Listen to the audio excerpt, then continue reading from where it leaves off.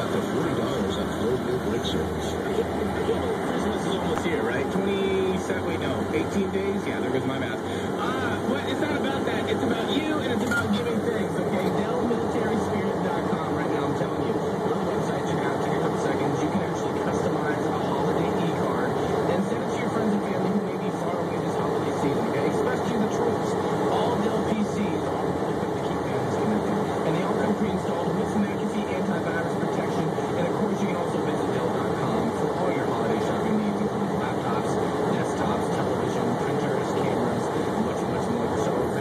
in the market for a gift or many this season, uh, you definitely want to check out the amazing.